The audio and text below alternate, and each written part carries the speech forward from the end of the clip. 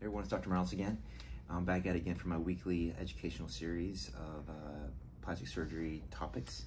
Um, this question is related to scars. And so the question is, is how have plastic surgeons developed techniques to give better scar outcomes? And in general, plastic surgeons, we tend to take a little bit more time and effort to give you better appearing scars. Um, we do things a little bit different, I would say, than most uh, surgeons from other specialties uh, like general surgeons and OB-GYNs and vascular surgeons and cardiothoracic. You know, you know, scars are really kind of, for aesthetic surgery, scars are really kind of our, our name and we take a lot of pride in how the incisions heal. We try to put them in more, you know, less visible places so you don't see them as often.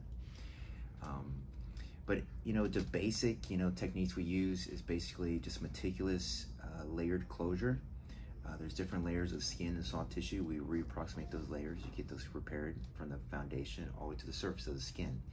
Um, we typically close these layers with absorbable sutures that last from a few weeks up to months. And the whole point of that is you get more support at the base of the, of the, uh, the tissue up to the surface of the skin. Therefore, you have less tension at the surface, and therefore the skin scar appears thinner and lighter. So on top of that, you know, there's ethnicities that tend to have thicker or darker scars. Um, Asians, you know, the African American community, Hispanics, we tend to get darker, thicker scars.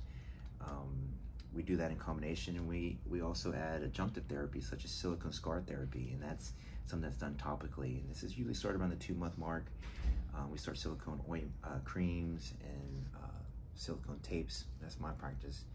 Um, I'm very aggressive scar therapy. I strongly, strongly push it and have my patients um, encourage them to invest in just this, you know, the, the small commitment in the products, but really just the time and just doing it. You know, you can make your scars better, and it has a lot to do just making it part of your daily life.